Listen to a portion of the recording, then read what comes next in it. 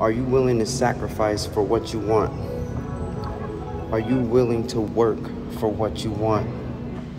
Goal setting is easy, but putting the work behind what you said you're going to do is the hard part. It takes daily discipline and accountability. It's up to you. No one else is in control of what you do but you. So when you don't do what you say you're gonna do, you're telling yourself that you don't want it that bad.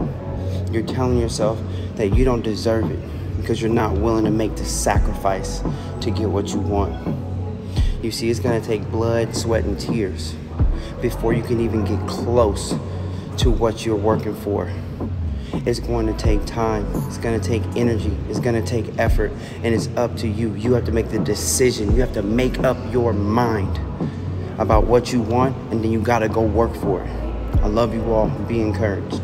Signing out and checking in is yours truly, Asher J. Bell.